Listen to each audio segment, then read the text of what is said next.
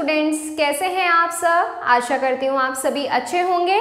मैं आरती, आप सभी का अपने परिवार फिजिक्स गुरु पर हार्दिक स्वागत करती हूँ, जहाँ पर आप सभी पढ़ रहे हैं। ग्रेजुएशन के लिए फिजिक्स केमिस्ट्री और मैथ्स मैथ्स चल रहा है आपका अपनी एप्लीकेशन फिजिक्स गुरु पर। तो आज की क्लास है बीएससी थर्ड ईयर के स्टूडेंट्स के लिए, जिसमें आपकी बुक चल रही है ऑर्गेनिक केमिस्ट्री और ऑर्गेनिक केमिस्ट्री में लास्ट एंड पर हमने हमारा एक टॉपिक कंप्लीट किया था थायोफिन जो आपका चैप्टर थ्री जो आपको हेट्रोसाइक्लिक कंपाउंड्स है ना, उसका एक टॉपिक है। तो आज हम इसमें डिस्कस करने वाले हैं पायरॉल के बारे में। तो पायरॉल की स्ट्रक्चर कुछ इस तरह की होती है, अब तक बहुत बार हम पायरॉल के स्ट्रक्चर बना चुके हैं। तो अब पायरॉल के मेथड्स ऑफ़ प्रिपरेशन उसकी फ़िज़िकल प्रॉपर्टीज़ केमिकल प्रॉपर्टीज़ और यूजेस के बारे में हम आज डिस्कस करने वाले हैं। तो देखिए, सबसे पहले मैथड ऑफ़ प्रिपरेशन में फ़र्स्ट मैथड मैंने यहाँ पर लिखा है बॉन ऑयल बोन ऑयल ये बोन वही बोन है जो आप समझ रहे हैं, जो हड्डियाँ होती है ना, वो वाला ऑयल अब देखो ये कैसे बनाया जा सकता है? देखो, pyrrole is naturally present in bone oil bone oil के अंदर पायरॉल जो होता है नेचुरली प्रेजेंट होता है। हमें उसके लिए कुछ और मिक्स करने की ज़रूरत नहीं होती है, पायरॉल बनाने के लिए। लेकिन पायरॉल को बॉन ऑयल से निकालने के लिए हमें काफ़ी सारे मैथड्स को फॉलो करना पड़ता है। देखिए, जैसे देखो बॉन ऑयल के साथ साथ इसमें क्लोरोफिल हेमोसाइनिन और ड्रग्स जैसे आपके कोकेन और हेरोइन होते होते हैं, उनमें भी पायरॉल प्रेजेंट होता है। इनमें क्या होती है? Having ring structure having pyrrole in it इनके पास भी जो कोकेन और हेरोइन होते हैं, उनके पास भी रिंग स्ट्रक्चर जैसे पायरॉल के अंदर होती है ना, ठीक इस तरह से ऐसी प्रेजेंट होती है, ठीक है? But pyrrole is obtained mainly by the distillation of born oil of animally byproducts. Animally byproducts से क्या मतलब है? देखो, इतना तो आप समझ गए कि ये डिस्टिलेशन से बनाया जाता है। डिस्टिलेशन से बॉर्न ऑयल का डिस्टिलेशन करते हैं। सबसे पहला स्टेप जो हम फॉलो करेंगे, वो करेंगे डिस्टिलेशन किसका? बॉर्न ऑयल का। अब ये बॉर्न ऑयल है क्या? देखो, जो एनिमली बाय प्रोडक्ट्स होते हैं, जैसे हॉर्न और हूफ हॉर्न हूफ क्या जैसे गाय, भैंस होती हैं, उनके सींग होते हैं, वो हॉर्न और जो उनके खुर होते हैं ना, वो हूफ कहे जाते हैं। तो हॉर्न और हूफ में प्रेजेंट होता है पायरॉल नेचुरली तो इनका हम करते हैं distillation these products have been distilled between 100 two 150 degree Celsius temperature एक सौ से 150 डिग्री सेल्सियस टेम्परेचर के बीच हम इनका डिस्टिलेशन करेंगे, तब इम्प्योर पायरॉल बनेगा। फिर उसके बाद हम क्या करेंगे? इस इम्प्योर पायरॉल में से इम्प्योरिटीज हटाएँगे और यहाँ से प्योर पायरॉल ऑप्टेन करेंगे। लेकिन वो कैसे? It has been treated with concentrated H two S O four concentrated H two S O four मिलाएँगे इसमें, जिससे हमारा मॉइस्चर और एल्कलाई की इम्प्योरिटीज़ हमारी रिमूव हो जाएँगी। फिर इसके बाद, अभी भी आपका पायरॉल प्योर नहीं बना है, इसके बाद हम क्या करेंगे? इसमें बहुत छोटी सी क्वांटिटी में के मिलाएँगे। के मिलाने पर जो आपकी एक्सेस क्वांटिटी में और जो बची कुछ एसिड की इम्प्योरिटीज़ है, वो आपकी रिमूव हो जाएँगी। एसिड की इम्प्योरिटीज़ रिमूव हो जाएँगी। अगर हम एसिड मिलाते हैं तो कौन सी इम्प्योरिटीज़ रिमूव होती है? बेसिक और अगर बेस मिलाते हैं तो कौन सी इंप्योरिटीज रिमूव होती हैं? एसिडिक ठीक है? But pyrrole will convert into its potassium salt यहाँ पर पायरॉल में जब हमारे जो देखो, पहले तो हम इसमें concentrated H two S O four मिला दिया, जिससे एल्कलाई की और मॉइस्चर रिमूव हो गया। फिर उसके बाद एसिडिक इम्प्योरिटी को रिमूव करने के लिए बेस मिला दिया।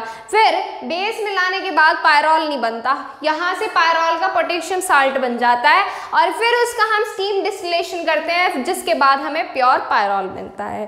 ठीक है? तो ये है फ़र्स्ट मैथड बॉन ऑयल से बनाने का। यहाँ पर आप चाहो तो स्टीम डिस्टिलेशन दिखा दिखा सकते हो। पोटेशियम साल्ट का स्टीम डिस्टिलेशन कैसे बताओगे? स्टीम डिस्टिलेशन में कुछ नहीं होता, बस आपको क्या मिलाना होता है? वाटर मिलाना होता है। देखो, ये होता है आपका पायरॉल का पोटेशियम साल्ट। इसमें आप मिलाओगे H2O स्टीम डिस्टिलेशन कर रहे हैं तो वेपर फ़ेज़ में या फिर स्टीम स्टीम या वेपर रिएक्शन करोगे, यहाँ से क्या बन जाएगा? आपका पायरॉल बन जाएगा। ये आपका पायरॉल है और यहाँ से के आपका रिमूव ठीक है? चलिए। ये हो गई आपकी पहला मेथड ऑफ़ प्रिपरेशन फिर उसके बाद सेकंड है एसिटिलीन से बनाएँगे इसको। जैसे एसिटिलीन से हमने थायोफिन बनाया था, ठीक इसी तरह से इसको भी बनाएँगे, लेकिन इसमें थोड़ा सा चेंज है। क्यों? थायोफिन में क्या था? आपका सल्फ़र था, और इसमें आपका क्या है? इसमें आपका एनएच प्रेजेंट है तो हमें उन उन चीज़ों को लेकर भी तो सारी चीज़ें सोच के जब मैथड ऑफ़ प्रिपरेशन करने होते हैं, चलिए पहले इसका स्क्रीनशॉट लीजिए, फिर सेकेंड मैथड की तरफ़ चलते हैं। देखिए एसिटिलीन एसिटिलीन एसिटिलीन क्या होता है आपका? C H triple bond C H इस बार एसिटिलीन में क्या मिलाएँगे हम? अमोनिया मिलाएँगे एन एच थ्री क्योंकि हमें एन एच की ज़रूरत है। और हम यहाँ पर क्या मिलाएँगे? A L two O three मिलाएँगे और टेम्परेचर कितना रहेगा? 300 डिग्री सेल्सियस और कितने मॉलिक्यूल लेकर रिएक्शन होगी आपके? टू मॉलिक्यूल्स लेकर रिएक्शन होगी यहाँ से। आप देखना रिएक्शन में किस तरह से यहाँ पर ये रिएक्ट करेगा। देखो, ये आपका डिसोसिएट करेंगे हम एन एच में। और H2 में डिसोसिएट करेंगे, जिसमें आपका NH यहाँ पर जुड़ जाएगा और H2 गैस रिमूव हो जाएगी। जैसे पहला था, बिल्कुल ऐसे ही। लेकिन पहले मेथड में हमने एसिटिलीन में क्या मिलाया था? H2O मिलाया था, लेकिन इस बार हम क्या मिला रहे हैं? NH3 मिला रहे हैं, ठीक है? तो यहाँ से आपका क्या बन जाएगा? एसिटिलीन से पायरॉल बन जाएगा।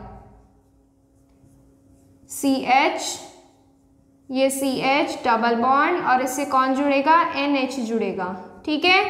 और यहाँ पर रिमूव क्या होगी? H2 गैस रिमूव हो जाएगी। ये बन गया आपका एसिटिलीन से पायरॉल क्लियर है? नेक्स्ट मेथड की तरफ़ चलिए। मेथड नंबर थ्री सक्सीनमाइड से। फ्रॉम सक्सीनमाइड सक्सीनमाइड क्या होता है आपका? देखिए सक्सीनमाइड कुछ इस तरह से होता है। C H two C H two और ये आपका जुड़ा होता है यहाँ पर सी ओ इन दोनों कॉर्नर्स पर और ये आपका यहाँ पर जुड़ा होता है एन एच ये होता है आपका सक्सीनामाइड ठीक है? अब देखिए रिएक्शन किस तरह से होगी, इसमें क्या करना पड़ेगा? इसमें हम मिलाएँगे जिंक पाउडर क्या मिलाएँगे? जिंक पाउडर मिलाएँगे। जिंक पाउडर मिलाएँगे और थोड़ा सा गर्म करेंगे इसको। तो आपके यहाँ से देखो, ये जो यहाँ पर आपके प्रेजेंट हैं, ये ये आपके ऑक्सीजन के साथ रिमूव होंगे। कैसे? बताओ कैसे? अब देखो, एक बात बताओ आप मुझे। यहाँ से तो आप H उठा लोगे, यहाँ से ऑक्सीजन उठा लोगे, वैलेंसी कैसे कंप्लीट होगी और जिंक पाउडर का क्या होगा? तो देखो, यहाँ से ये जो आपके ऑक्सीजन हैं, ये रिमूव होते हैं। देखो, कैसे रिमूव होंगे ये? यहाँ से आपके बॉन्ड्स डिसोसिएट होते हैं। कैसे? देखो, ये आपका कार्बन डबल बॉन्ड ऑक्सीजन के साथ जुड़ा होता है। ये वाला बॉन्ड डिसोसिएट होगा, ये वाले बॉन्ड डिसोसिएट होंगे, ये वाले और जब ये वाले बॉन्ड डिसोसिएट होंगे तो इस पर ऑक्सीजन पर कैसा आएगा? निगेटिव कार्बन पर पॉजिटिव आएगा। ठीक इसी तरह से जब हम यहाँ पर क्या करेंगे? एच आयंस रिमूव करेंगे। किस तरह से? देखो, यहाँ पर ऐसे है ये। जब हम यहाँ से H पॉजिटिव आयन रिमूव करेंगे, देखो, इस पर आ रहा है नेगेटिव इस पर आ रहा है पॉजिटिव जब हम यहाँ से H पॉजिटिव रिमूव करेंगे, यानी कि इधर जाएगा, यहाँ पर नेगेटिव यहाँ पर पॉजिटिव अब देखो क्या होगा यहाँ से? ये वाला नेगेटिव ये वाला पॉजिटिव बॉन्ड बना लेगा। ये वाले एक एच इधर आ जाएगा, इस वाले बॉन्ड से जुड़ जाएगा और ये वाले ऑक्सीजन जिंक के साथ चला जाएगा। समझ में आ गई इतनी बात? देखो, कैसे बन जाएगा फिर ये? C H single bond C H double bond C H ये वाला एक एच इधर आ जाएगा, ठीक है? सी एच और इससे ये एन एच तो ऐसा कैसे जुड़ा हुआ है और रिमूव क्या होगा? आपका टू जेड एन और जिंक ऑक्साइड यहाँ से रिमूव हो जाएगा। क्लियर है? ये हो गया आपका third method of preparation bond दिखाना चाहते हो तो दिखा सकते हो, वरना ऐसे लिख सकते हो डायरेक्ट ठीक है? चलिए। स्क्रीनशॉट लीजिए अब इसका। फिर नेक्स्ट करेंगे फ्यूरान से। फ्यूरान से प्रिपेयर करेंगे हमारा पायरॉल नेक्स्ट देखो, ये मेरे ख्याल से फोर्थ है फोर पॉइंट है ये। देख लेना अपना सीरीज़ डाल लेना अपना पूरा, जो भी वन टू थ्री आता है, वो हिसाब रखना आप, ठीक है? चलो, आगे देखो फ्यूरान से। फ्यूरान से किस तरह से प्रिपेयर किया जा सकता है? देखो फ्यूरान में हमारा क्या प्रेजेंट होता है? ऑक्सीजन अब हमें इस ऑक्सीजन की जगह क्या चाहिए? एन एच ग्रुप चाहिए तो इसमें हम क्या ऐड करेंगे? एन ही ऐड करेंगे। इसके अलावा और कोई ऑप्शन है हमारे पास? नहीं है। तो यही ऐड करेंगे हम। अब देखो यहाँ से क्या होगा? ये आपका एच में और एच टू में डिसोसिएट होगा। ये एच टू ऑक्सीजन के साथ एच टू ओ की फॉर्म में बाहर और ये एच यहाँ पर आकर जुड़ जाएगा। और ये आपका यहाँ से पायरॉल बन जाएगा। आगे बात समझ? चलो नेक्स्ट देखो थायोफीन से। फ्रॉम थायोफीन थायोफीन में क्या प्रेजेंट होता है? सल्फ़र इस बार क्या मिलाओगे इसमें? इस बार क्या मिलाओगे? NH3 ही मिलाया जाएगा। अरे हमें NH चाहिए। कभी आप ये सोच रहे हो कि सल्फ़र है तो इसमें H2O मिला दे रिप्लेस हो जाएगा। पायरॉल बन जाएगा। पायरॉल पायरॉल नहीं ये फ्यूरान बन जाएगा और फिर फ्यूरान से ये सिंगल स्टेप में रिएक्शन कराओ। कैसे कराओगे? देखो। किसी भी चीज़ को लेकर टेंस्ड होने की ज़रूरत नहीं है। थायोफीन में क्या प्रेजेंट होता है आपका? सल्फ़र प्रेजेंट होता है इस तरह से। ठीक है, ये बात तो पता है। अब इसके बाद हमारा क्या होगा? यहाँ से इसमें मिलाएँगे N H three N H three मिलाने पर किसमें डिसोसिएट होगा? ये एन एच में और एच टू में डिसोसिएट होगा। अब ये एच टू इस एस के साथ और ये एन एच यहाँ। H two S gas remove होगी और आपका यहाँ से क्या बन जाएगा? पायरॉल बन जाएगा। ठीक है? ये बन गया आपका यहाँ से पायरॉल ये हो गया आपका लास्ट मेथड ऑफ़ प्रिपरेशन अब इसके बाद है इसकी फ़िज़िकल प्रॉपर्टीज़ और केमिकल प्रॉपर्टीज़ केमिकल प्रॉपर्टीज़ इसकी थोड़ी सी लेंदी है। लेंदी क्यों है? क्योंकि इसमें दो तीन प्रॉपर्टीज़ मैंने और ऐड की हैं अलग से। इसकी स्ट्रक्चर की वजह से, क्योंकि इसकी स्ट्रक्चर कुछ कंपाउंड से सिमिलर है तो उनको लेकर भी हम कुछ प्रॉपर्टीज़ देखेंगे। तो इसमें सबसे पहले तो आप इनका स्क्रीनशॉट लो, फिर उसके बाद हम क्या करेंगे फ़िज़िकल प्रॉपर्टीज़ के बारे में डिस्कस करेंगे पहले। स्क्रीनशॉट लीजिए इनका। तो देखिए इसमें ये है इसकी फ़िज़िकल प्रॉपर्टीज़ फ़िज़िकल प्रॉपर्टीज़ में क्या कहा है? कलरलेस लिक्विड कंपाउंड है और स्मेल कैसी है? पंजेंट तीखी गंध है इसकी. It is solvable in polar as well as non polar solvent polar solvent और नॉन पॉलर सॉल्वेंट जितने भी होते हैं, इन सब में घुल जाता है और बॉइलिंग पॉइंट होता है इसका 129 डिग्री सेल्सियस बॉइलिंग पॉइंट होता है. ये है इसकी कुछ फ़िज़िकल प्रॉपर्टीज़ अब इसके बाद इसकी केमिकल प्रॉपर्टीज़ हैं तो केमिकल प्रॉपर्टीज़ में सबसे पहले देखो एरोमेटिक करेक्टर मैंने आपको बताया था, जब हमने इसमें हमारा फ़र्स्ट कंपाउंड फ्यूरान किया था तो उसमें सारी प्रॉपर्टीज़ मैंने आपको पूरी डीपली लिखाई थी रीजन भी बताए थे इसके. तो यहाँ पर मैं सिर्फ़ इसी तरह से समझाऊँगी. लास्ट टर्न पे भी थायोफीन में भी हमने ऐसे ही देखा था. तो देखो इसमें ये कंपाउंड कैसा है? साइक्लिक है. साइक्लिक है, चारों तरफ़ से बंद है. सिक्स पाई इलेक्ट्रॉन्स है two four six six pi electrons है. सारे एरोमेटिक हैं ये और सारे इलेक्ट्रॉन्स कैसे हैं? अल्टरनेट पोजीशन में प्रेजेंट हैं और इलेक्ट्रोफिलिक सब्सटीट्यूशन रिएक्शन शो करता है एरोमेटिक होने की वजह से और सिक्स पाई इलेक्ट्रॉन होने की वजह से और फेवरेबल पोजीशन कौन सी है? अटैक की या इनकमिंग ग्रुप की? सेकेंड और फिफ्थ। और आपकी थर्ड और फोर्थ पे भी अटैक कर सकता है, लेकिन उसके लिए बल्कि ग्रुप प्रेजेंट होना चाहिए इन पोजीशंस पर, ठीक है? तो ये है इसकी कुछ प्रॉपर्टी आप पहले इनका स्क्रीनशॉट लीजिए, फिर हम इलेक्ट्रोफिलिक सब्सटीट्यूशन रिएक्शन जैसे आपकी हेलोजिनेशन सल्फोनेशन ये है ना? ये करेंगे अब, ठीक है? चलिए, पहले आप इनका स्क्रीनशॉट लीजिए, फिर नेक्स्ट हमारी प्रॉपर्टीज़ की तरफ़ चलते हैं। देखिए, इसमें सबसे पहले नाइट्रेशन। नाइट्रेशन में क्या करते हैं? हम concentrated H two concentrated H two S O four की प्रेजेंस में concentrated H N O three add करते हैं पायरॉल में और आपका क्या बनेगा? टू नाइट्रो पायरॉल आपका बन जाएगा यहाँ से।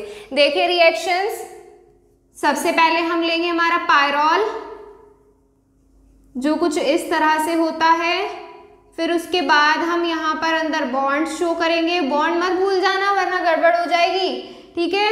सबसे पहले लेंगे हम concentrated H N O three फिर उसमें कैटलिस्ट क्या लेंगे? Concentrated H two S O four लेंगे और रिएक्शन कराएँगे। अब तक बहुत सारी रिएक्शन हम करा चुके हैं ऐसे ही।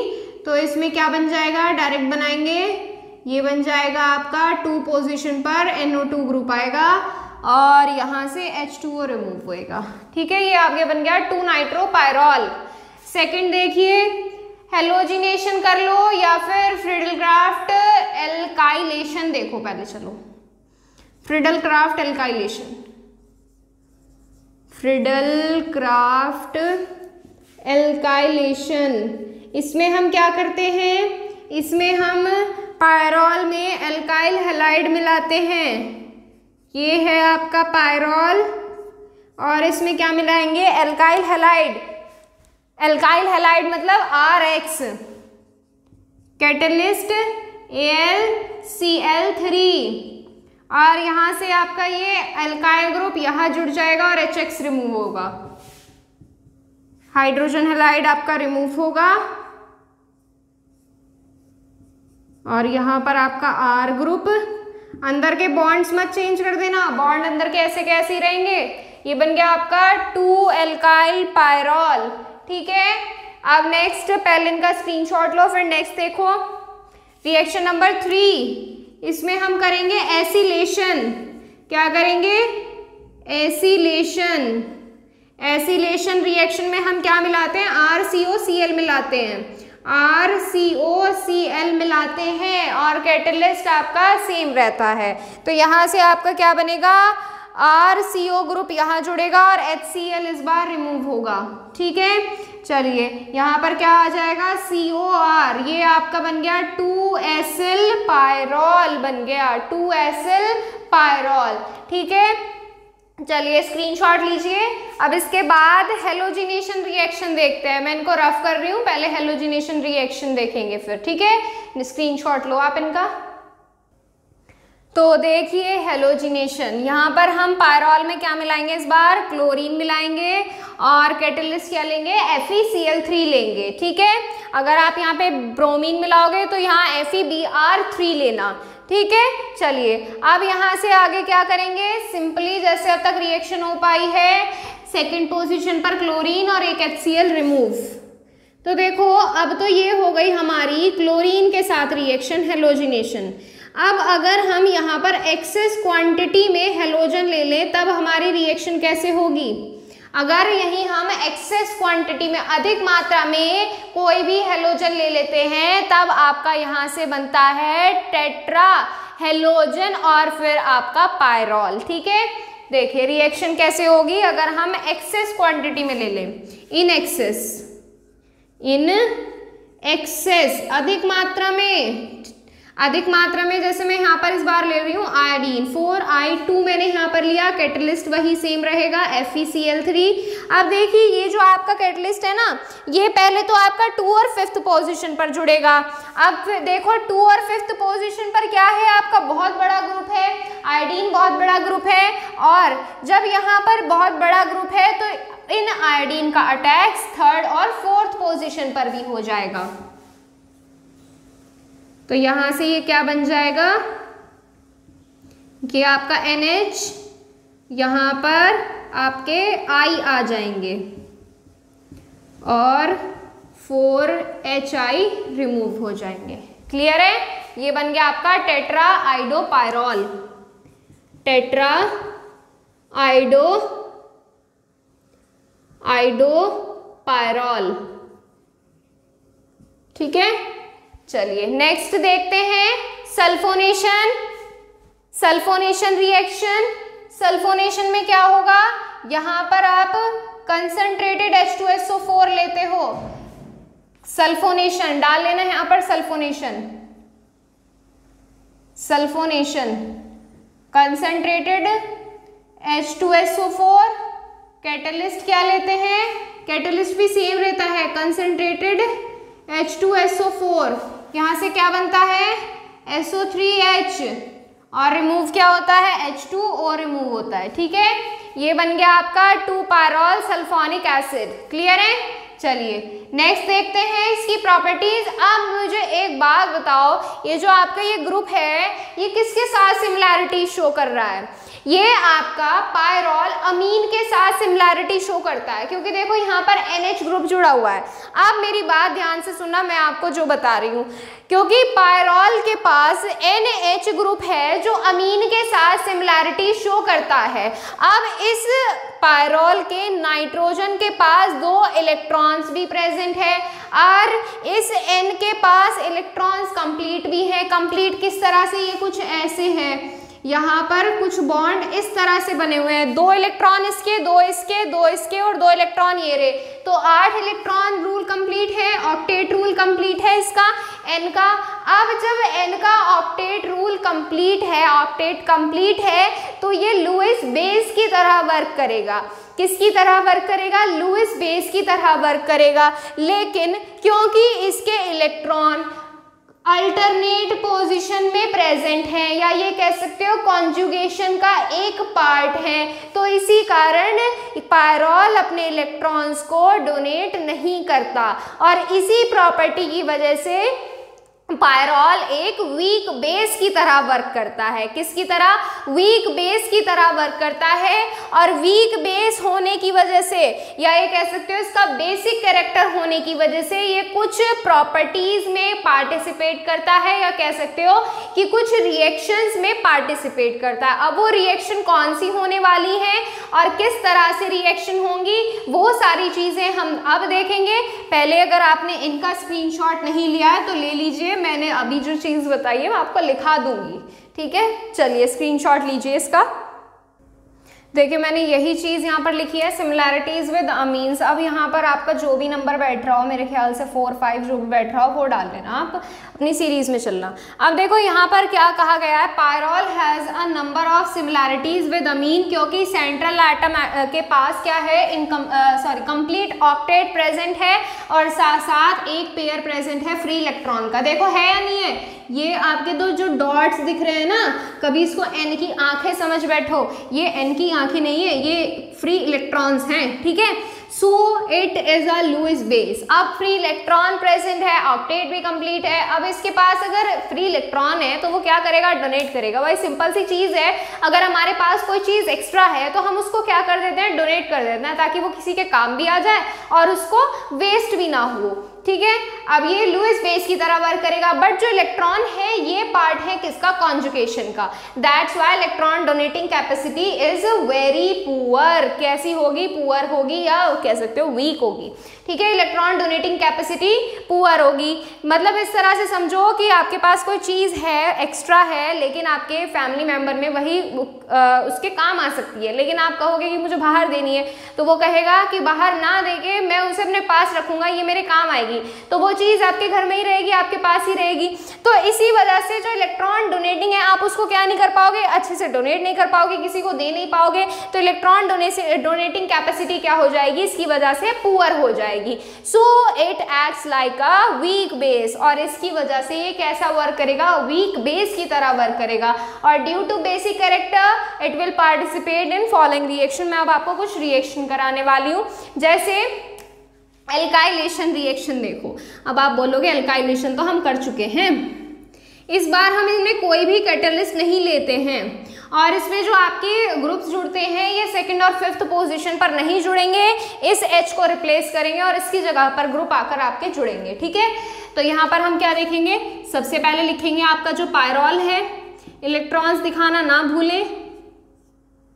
यहाँ पर है आपका, क्या लेंगे? आर एक्स एल्काइलेशन में एल्काइल हेलाइड लेते हैं ना। अब देखिए, यहाँ से ये वाला एच एस एक्स के साथ एच एक्स की फॉर्म में बाहर और ये एल्काइल आपका यहाँ जुड़ जाएगा।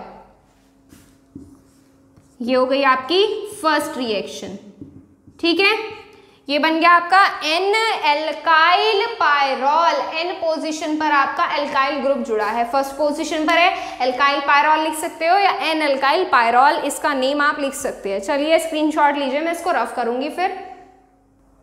देखिए नेक्स्ट है एसिलेशन रिएक्शन एसिलेशन रिएक्शन में क्या होगा? ये एच एस सी एल के साथ बाहर और ये आर सी ओ ग्रुप आपका इस वाले एन के पास जुड़ जाएगा। तो यहाँ से बन जाएगा आपका ये कुछ इस तरह से। एन एसिल पायरॉल बनेगा यहाँ से। ठीक है? एन एसिल पायरॉल आपका यहाँ से प्रिपेयर होएगा। नेक्स्ट देखो, अगर हम यहीं पे रिएक्शन किसके साथ करा दें? एसिड के साथ करा दें। बेसिक कैरेक्टर है, वही एसिड के साथ रिएक्शन कराएँगे तो ये क्या बनाएगा?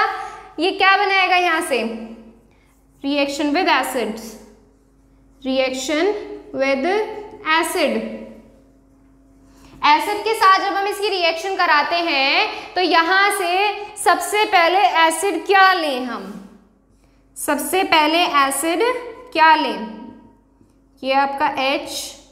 यहाँ पर हम मान लीजिए हमने यहाँ पर HCl ले लिया।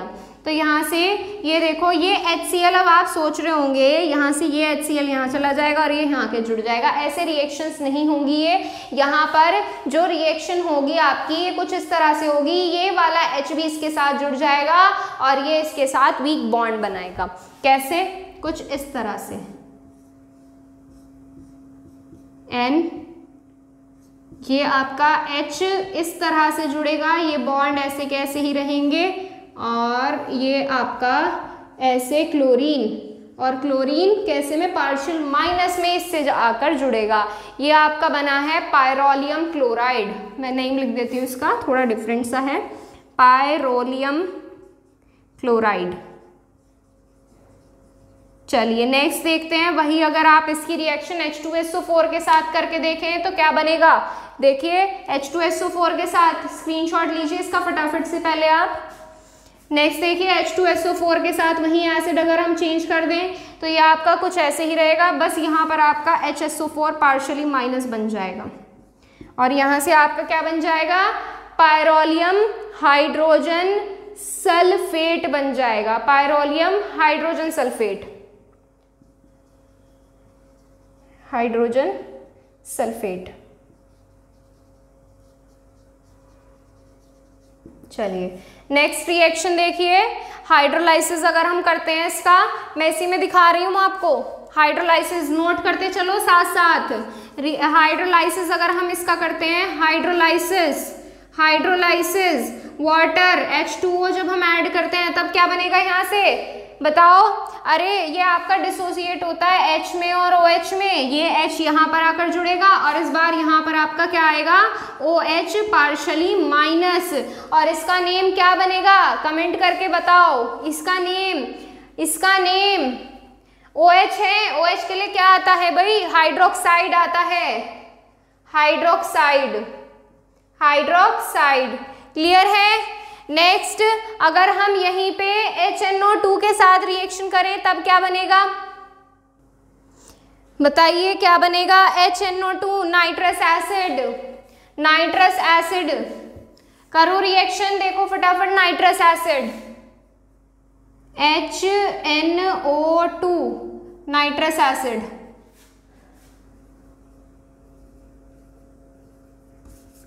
reaction करो, क्या बनेगा? एच एन ओ टू पहले तो इसको डिसोसिएट करना जानो। किसमें डिसोसिएट होता है ये? ओ एच में और एन NO ओ में डिसोसिएट होता है ये। अब देखो, ये जो आपका एन NO ओ है, ये इस एच को रिप्लेस कर देगा और ये आपका ये वाला एच और ये वाला ओ एच एक साथ एच टू ओ की फॉर्म में बाहर। ये आपका आ गया H2O की फॉर्म में बाहर और यहाँ पर आपका क्या जुड़ेगा? एन NO जुड़ेगा। ये आपका बन गया नाइट्रोसोपायरॉल। नाइट्रोसोपायरॉल। ये आपकी रिएक्शन हो गई है अमीन ग्रुप की सिमिलैरिटी जो रिप्रेजेंट करते हैं उनको लेकर। अब ये आपका फिनॉल से भी सिमिलैरिटी शो करता है। फिनॉल से सिमिलैरिटी कैसे शो करेगा? अब आपने यहाँ पर देखा कि ये जो पायरॉल है, ये इस एच को भी डोनेट कर रहा है। अब जो एच प्लस आयन को डोनेट करता है, वो क्या कहलाता है? वो एसिड कहलाता है, जो एक्सेप्ट जब देखो। ये आपका जब H पॉजिटिव आयन यहाँ से डोनेट कर रहा है, ये आपका रिएक्ट कर रहा है। तो यहाँ से ये पायरॉल की पायरॉल जो है, ये फिनॉल की तरह रिएक्ट करेगा। फिनॉल में भी आपका H रिमूव हो जाता है ना। फिनॉल होता क्या है? बताओ क्या होता है? C six H five O H phenol आपका कुछ इस तरह से होता है। ये आपका ओ OH तो यहाँ से जो ये फिनॉल है, ये H पॉजिटिव आयन भी दे देता है। अब देखो इसकी जैसे स्ट्रक्चर भी कुछ कुछ सिमिलर है, बंद है इसकी भी स्ट्रक्चर इसकी भी स्ट्रक्चर आपकी बंद है। जब ये H पॉजिटिव आयन डोनेट कर देता है तो ये एसिड की तरह वर्क करने लगता है और एसिड कैरेक्टर रखने की वजह से भी ये क्या करता है, ये आपका कुछ रिएक्शन रिप्रेजेंट करता है। कुछ रिएक्शंस किस तरह से, जैसे मैं भी बताऊँगी और ये जो चीज़ मैंने बताई है ना, आपको ये प्रॉपर वे में लिखाऊँगी भी। अगर आपने इसका स्क्रीनशॉट नहीं लिया तो स्क्रीनशॉट ले लो, इसका मैं इसको रफ कर रही हूँ फिर। देखो it can donate H positive ion and represent acidic nature वही चीज़ मैंने आपको बताई एच पॉजिटिव आयन को डोनेट करेगा और एसिडिक नेचर दिखाएगा। It is a good acidic in nature acidic nature में अच्छा होता है, जैसे आपका हमने सिमिलैरिटीज देखी थी अमीन के साथ तो उसमें बताया था वीक बेसिक कैरेक्टर रखता है, लेकिन अच्छा एसिडिक कैरेक्टर रखता है, ठीक है?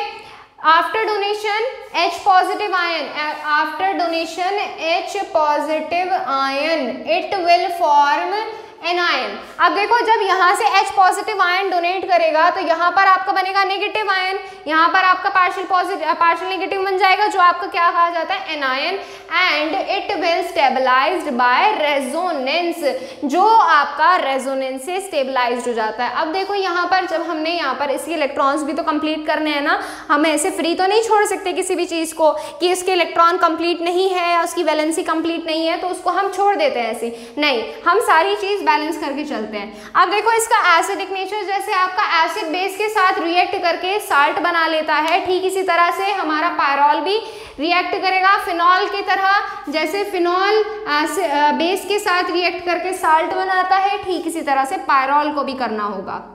ये इसकी मजबूरी है, करना ही होगा इसको। हम लेते हैं बेस के ओ एच रिएक्शन करते हैं हमारी। जैसे अब तक सिमिलर रिएक्शन होती आई है। यहाँ पर आपका के आ जाएगा और एच टू रिमूव हो जाएगा।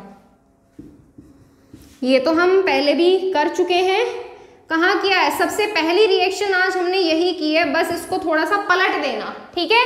चलो, ये हो गई फ़र्स्ट रिएक्शन नेक्स्ट देखो Reimer Tiemann reaction Reimer Tiemann reaction second name reaction है राइमर टाइमन रिएक्शन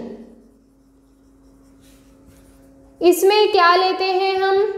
इसमें हम लेते हैं क्लोरोफॉर्म और बेस और उसकी रिएक्शन कराते हैं पायरॉल के साथ। लिखिए यहाँ से पायरॉल पायरॉल लिखिए।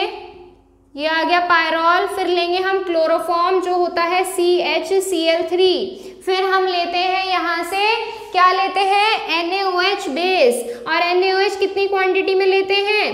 तीन में, ताकि हम यहाँ से N A C L remove कर सकें। ठीक है? यहाँ से एक तो तीन एन ए सी एल हो गए रिमूव अब देखना ध्यान से। क्या देखोगे आप ध्यान से? ये हमारे जो तीन OH हैं, ये मैं इस तरह से लिख लू इनको। नीचे स्पेस कम है, इसलिए थोड़ा ऊपर समझा रही हूँ आपको, ठीक है? तो देखो, यहाँ से एक H2O तो ये रिमूव हो गया। एक H2O तो ये रिमूव हो गया। वही क्या बचा? एक OH और एक ये वाला एच ये और ये। कितने हो गए? वन एच टू ये हो गए और वन एच टू ये हो गए। एक आपका two H two O remove हो गया। अब क्या बचा? ये वाले, ये चीज़ बची, ये वाली जो रिंग है एन के साथ। एक सी एच बचा और एक है ओ बचा। तो ये आपका सेकंड पोजीशन पर पायरॉल की सेकंड पोजीशन पर अटैक कर देंगे और यहाँ से आपका कुछ ग्रुप इस तरह से बन जाएगा। ठीक है? ये आपका ग्रुप इस तरह से बनेगा कुछ। बताओ। अब देखो, मुझे एक चीज़ बताओ कि आपको ये रिएक्शन कुछ अलग नहीं लगी है? बताओ मुझे खुद खुद बताओ आप मुझे कि रिएक्शन थोड़ी डिफरेंट नहीं लगी आपको? कि देखो, मैं आपको बताती हूँ डिफरेंट क्या है इसमें? डिफरेंट मैंने अभी आपको ये चीज़ बताई कि यहाँ से ये H पॉजिटिव आयन यहाँ से ये रिमूव होगा और इस OH के साथ चला जाएगा। क्या से जाएगा? यहाँ से, अगर हम यहाँ से N हमने ऐसे ही छोड़ सकते हैं हम? जहाँ से हमने H हटाया इनकमिंग ग्रुप भी तो वही जुड़ेगा आकर। तो क्या ये आपका N C H O group यहाँ N के पास नहीं जुड़ना चाहिए था? वो तो सही जुड़ा है, लेकिन आपने जो H रिमूव किया है ना यहाँ से, वो H रिमूव होगा इधर से। किधर से? यहाँ से रिमूव होगा। ठीक है? क्लियर है? अब आगे बात समझ?